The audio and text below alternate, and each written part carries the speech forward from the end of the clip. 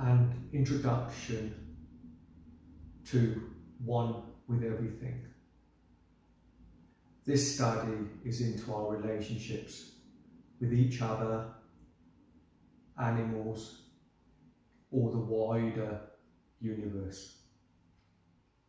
Maybe the best starting point would be the essence of Christ, giving us a viewpoint of one of many directions, the background and its flow. Terms of maths, new structures require new fundamentals, especially if it's fluid. Then the best starting point would be the hand, where we can experience the mathematics of each dimension and bring in the bee as an example. After writing about before the beginning and the inflation theory of exponential growth from a single atom, why can't that be controlled by a single thought? Then whose thought?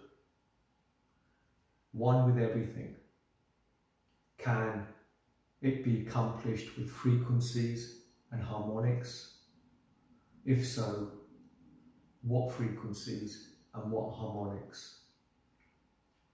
Sikhs have a great points of travel. He created the universe with one word.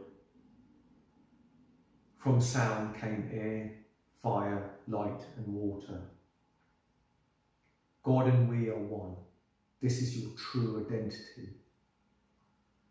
Once you can start understanding yourself, then we can unstart the name. The inner consists of energy in your mind and your inner soul. We know energy is continuous. Everything is formed out of energy. Is it all connected? Is this the state of nirvana? The energies painted need to represent both outer and inner mathematics. Otherwise, the balance is not obtained.